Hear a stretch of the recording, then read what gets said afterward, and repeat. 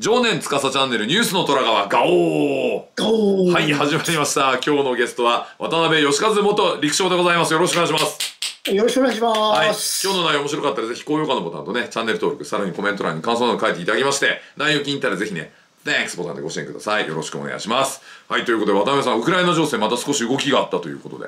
いや、そうですね。はいこの年末近くになって、はいやはり大きな動きがあったと私は思ってます。はい、あの、それは、あの、どういうことかというと、はいあの、いまず最初に今の、あの、ウクライナの戦況について、はい、あの簡単にはいちょっと解説してみたいと思うんです。はい第第1ページ目お願いできますか？はい、今出します。こちらですね。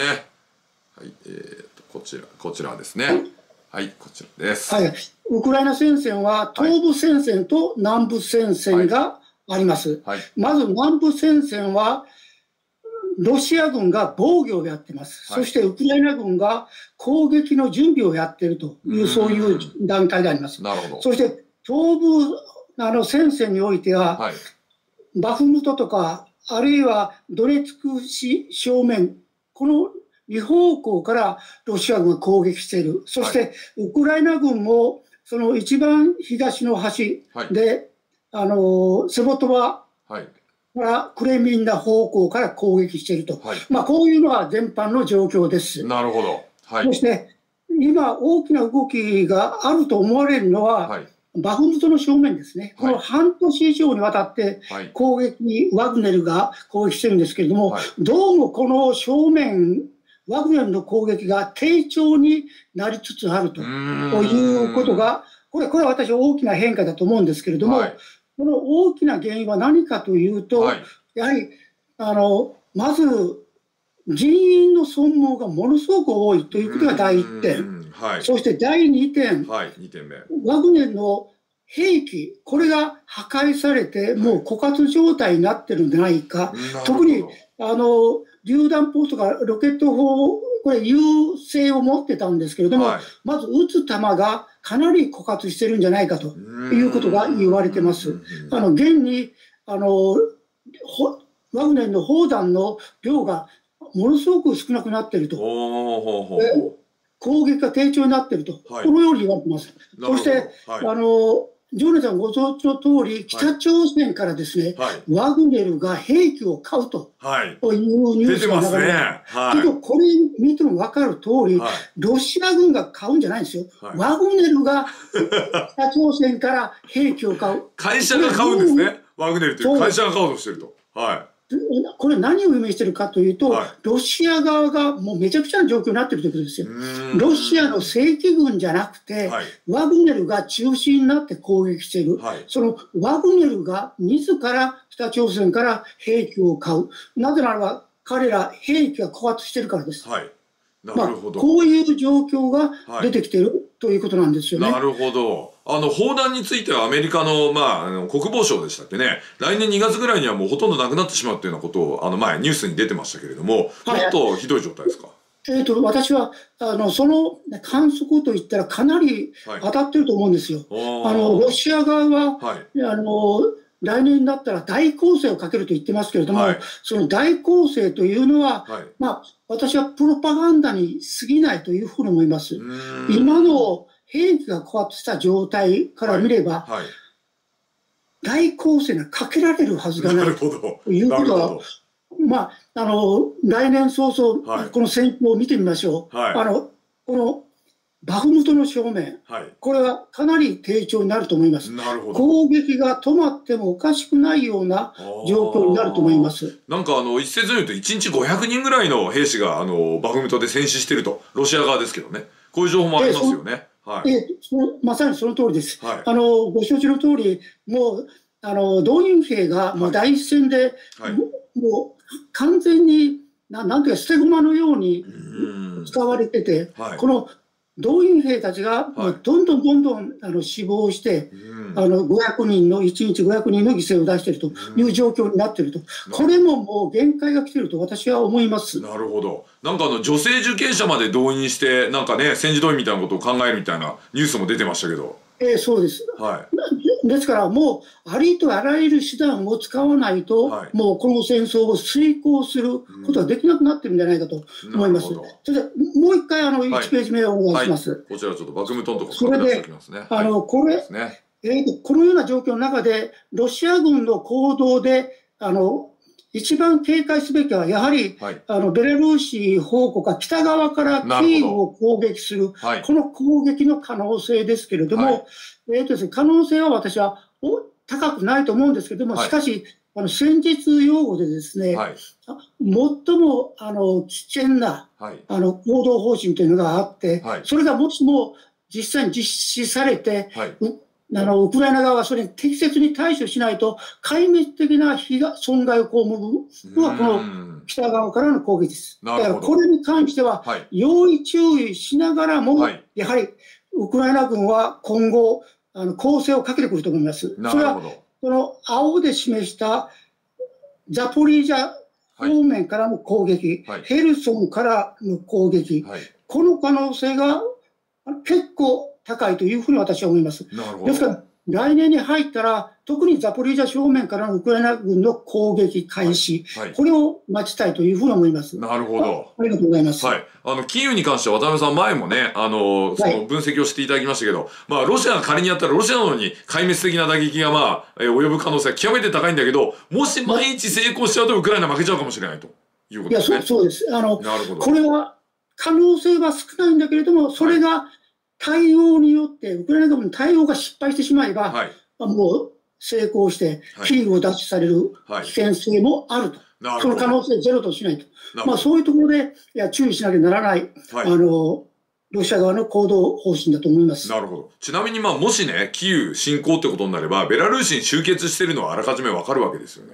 はい、これはもうわかると。で、わかれば当然長距離攻撃今ウクライナできますから、叩きますよね、これ間違いなく。はい、あの、もし集結してる地点があれば、えー長距離攻撃でハイマースなので、ウクライナは当然攻撃するということですよね。あベラルーシに対する攻撃も、私はあり得ると思います。ありえますよね、これはね。ここれはもう国際法で認められた、はいもう自衛の当然の権利だというふうに思います。なるほど、なるほど。まあ、問題はじゃあそこをちゃんとしのぎつつ、えーザポリージャ方面からの、そのまあ反転攻勢というか、えーウクライナのね、攻撃にちょっと期待するというところですね。あそうですねねあのはい。とにかくあの、はいウクライナ側としては、この寒い期間、1月、2月、3月はい。に、この南部戦線で攻撃を開始をして、とにかくアゾフ海まで、例えば3月の末ぐらいまで、はい。もう進出して、はいしたいというのが、一つのあの作戦のあの方向性だろうと思います。うん。まあ、ロシア軍を二つに分断してしまうってことですね。アゾフ海まで出るってことは。まさにそうですね。ああのもうあのロシア軍としても、プーチンとしてもものすごく難しいのは、はい。あの東部戦線に戦闘力集中してるわけですよ、すねロシア軍実際に、はもう人だけじゃなくて、い。はい。兵器もはい火力も全部東東部方面集中してるんですけれども、しかし、もう不安なのがこの南部戦線なんです、彼らにとっても。も。なるほど。ザポリージャ正面かはいら最終的に、例えばクリミア半島を取られるのではないかという恐れというのは常に持ちながらうんやってるですよね。なるほど。うんうんそうするとあの今ね、ウクライナ側からしきりにね、ロシアが来年2月に大反攻を開始する予定だみたいなことが流れてるんですけど、これはちょっとなんか、えーとこれはですね、まず、はいあの一つは、はい。もうウクライナ軍、ウクライナ国民に対してはい注意をやはりやりましょうと。ああ。これはあのやはりこの戦争は難しい戦争ですよと、はい注意は怠らないようにしましょうとはい。いう、まあ、警戒、はい。これを、これが一つ、はいもう一つはですね、はい。アメリカをはじめとするあの西側諸国に対して、はいもうどんどんどんどん兵器を供与してくれと、そうしないと、こういう攻撃、ロシア軍はやりますよと、はい。これに対抗するためにはとにかく兵器が必要なんだと、はい。特にあの戦車、レオパルト2、はいドイツ製です。はい。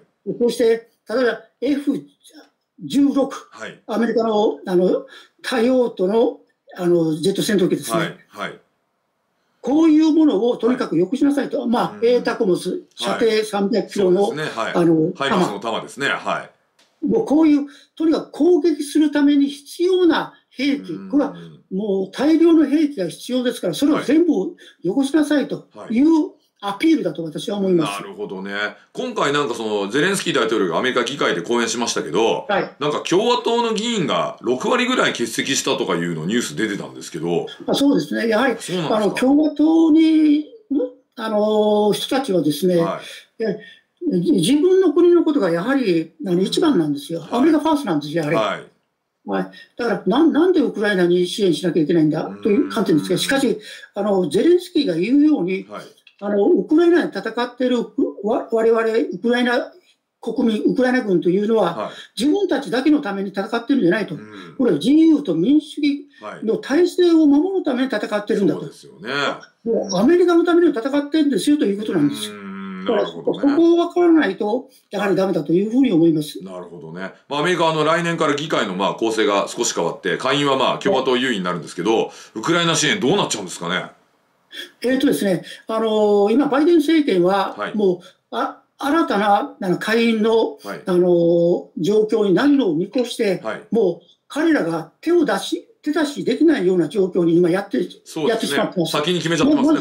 それですね、はい。もう大量のウクライナに対する供与の計画というのをもはい。う、もう進行中でやらさせてます。はい。なるほど。じゃあ、パトリオット持ってくるとか、こういうのももう、共和党になる前に決めちゃおうってことで、もう、ばばーっとこう、やつぎやばばやに今回。その通りその通りです。やはりですね、はい。あの今回私希望あの希望したのはやはりあの戦車なんですよ。そうですよね。渡辺さんずっと戦車って言ってましたよねはい。レオはいポルト2の戦車をはいやはり提供すべきだと思います。努めて早く提供すべきじゃだと思います。まだ提供決まってないんですよね、戦車。えーとですね、まだ提供決まってないんですよ。ああのそれを提供しなきゃいけないというあの意見というのは盛り上がってるんですけれども、はいはい最終的にドイツのショルツ首相なんていうのは、はイエスと言ってないんですよなね。るほどね。ああ、なるほまあ、ど。それがやはり問題なんですよね。そうですね。のはこの戦争を早く終わらせるためには、もう、はい瞬時に努めて早く、い。うんあの、ウクライナ軍が要求するこの兵器を提供さすることです。はい。それじゃ早く終わります、この戦争はそうですね。勝ち切ってしまえばいいわけですよね。そうですね。あのかたなぜならば、かたやあのロシア軍が本当に兵器が枯渇し、弾薬枯渇し,、はい。するしている状況ですから、はい。今こそチャンスだと私は思います。ね。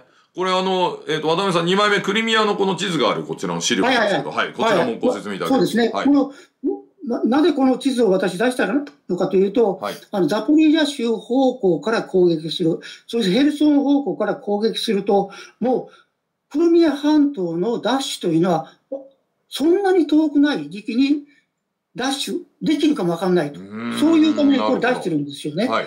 特にこのクリミア半島を完全孤立化するために、一番あの右側にあるクリミア大橋、はい。ここというのは必ず私はあの破壊、もう一回破壊すると思います。なるほど。破壊して、ロシア本土から分断してしまう。はい。そのような状況にして、はいあのザポリージャ州、ヘルソン州から攻撃をすると、はい。